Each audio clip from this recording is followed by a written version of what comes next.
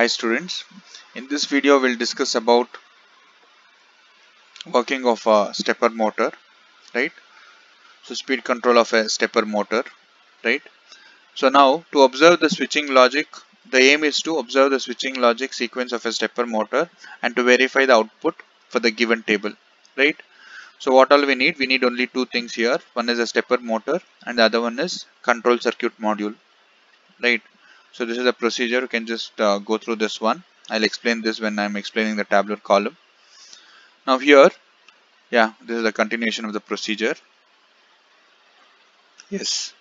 Now there are two modes for uh, working of a stepper motor. As the name itself suggests, this motor rotates in step, right?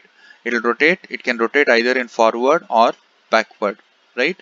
So now here, any stepper motor will will be given the number of steps. So for one complete rotation, there will be a prescribed number of steps, right?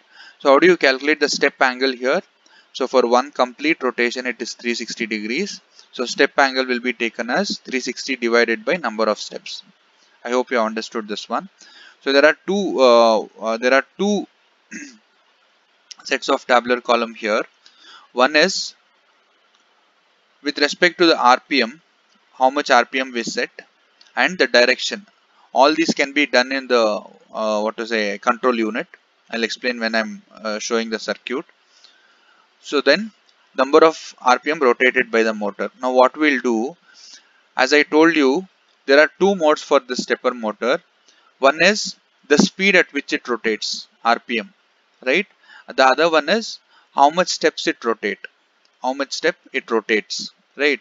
Now using the control circuit we can either set the speed or the number of steps. So that is given to the user. So user has a flexibility to set it in rpm mode or number of steps mode. Right. Now what happens here in the tabular column? If i have set it in rpm mode and if i set the num number of i mean rpm is 5 right? And if i set it for forward and then if i press start it has to exactly rotate for it has to exactly rotate 5 rotations per minute. So you will be given a clock and you have to you have to just check how many rotations are rotated per minute right? When you have set for 5 and if you have set for forward in the forward motion that particular what is a stepper motor will rotate exactly for 5 rpm right? That is the observation what you have to make whether it is rotating for 5 or not practically right? That is observation.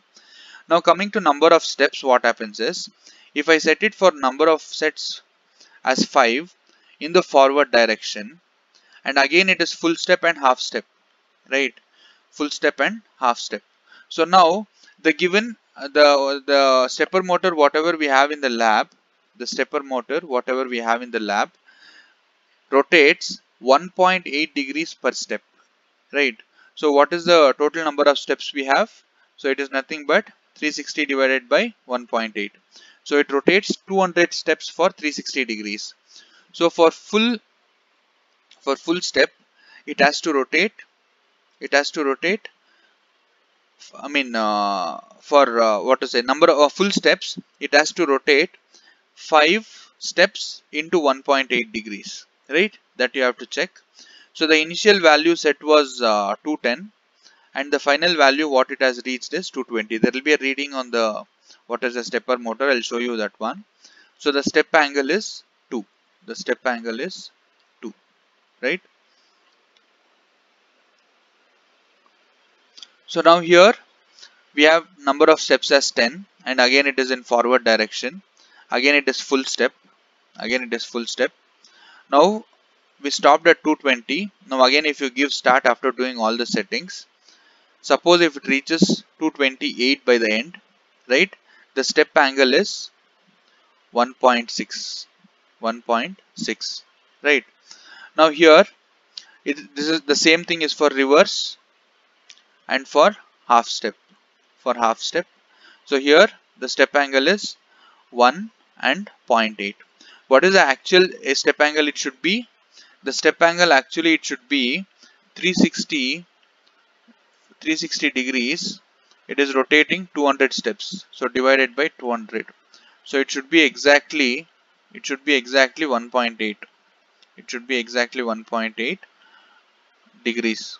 For half step it will be 1.8 by 2 so it will be 0.9 degrees. Right? So for full step it is 1.8 degrees. For half step it is 0.9 degrees. So what we mean here is instead of 1.8 it is 2 degrees here due to some practical uh, disturbances. And here it it, it is it was supposed to be 1.8 but again we have got 1.6 even though we have set the number of what to say number of steps to be finite or uh, a proper number here the step angle is not proper right? Due to some error in the uh, this thing. That is what you have to observe. You have set it for uh, I mean it should be exactly 1.8 and 0.9 for full step and half step res respectively but you have to just note what is the step step angle you get there right? Now you can go through this one whatever I explained now. So step angle will be final step minus initial step divided by divided by number of steps rotated. Now here final step final step is 220 220 minus 210 is 10 so 10 divided by 5 is 2 10 divided by 5 is 2 right? Like that.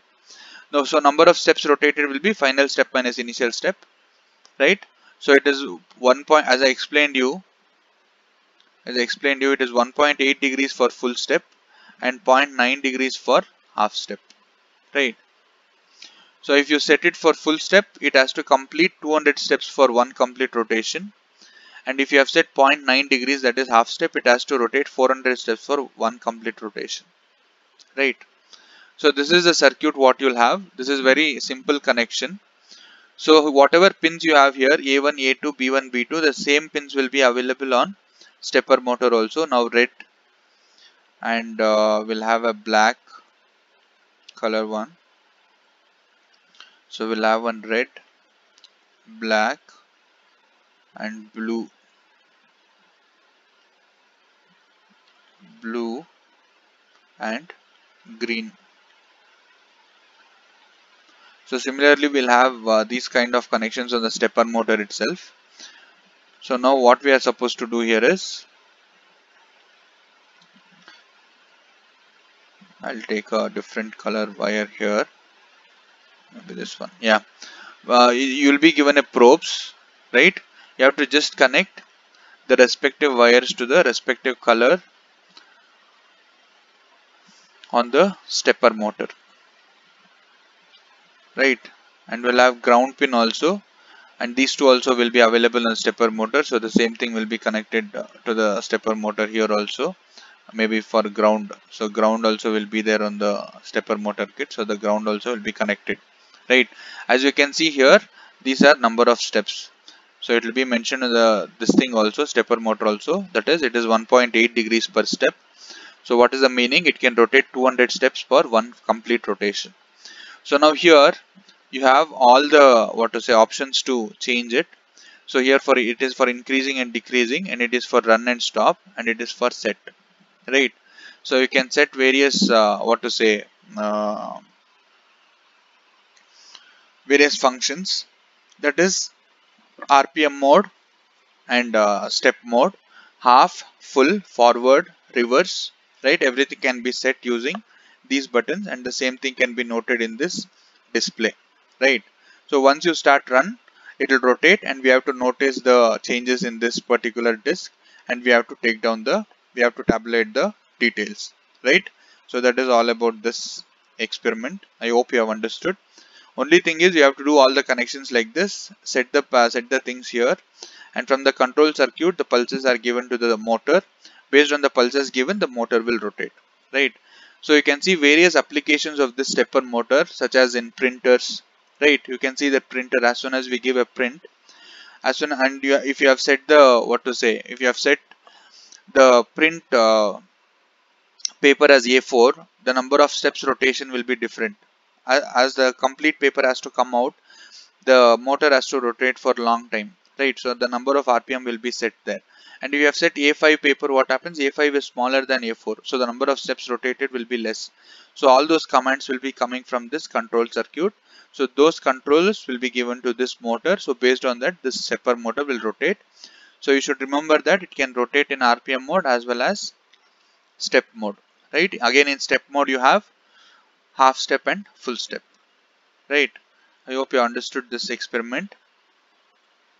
Thank you.